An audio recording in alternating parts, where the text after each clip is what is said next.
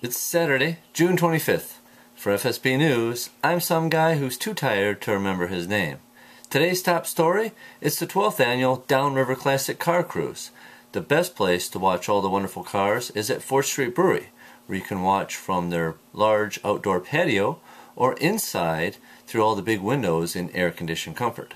Even better than that is 4th Street Brewery offers happy hours from 12 to 6 p.m., featuring $2 well drinks, 50 cents off pints of beer, and $1 off half gallon growlers of beer to go.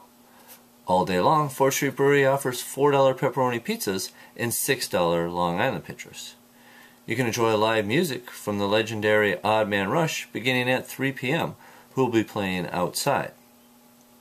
If watching classic cars go round and round in the big crowds aren't your thing, just come in and enjoy dinner and great beer with plenty of free parking available. And that's all the news that's fit to drink. For FSB News, enjoy your weekend.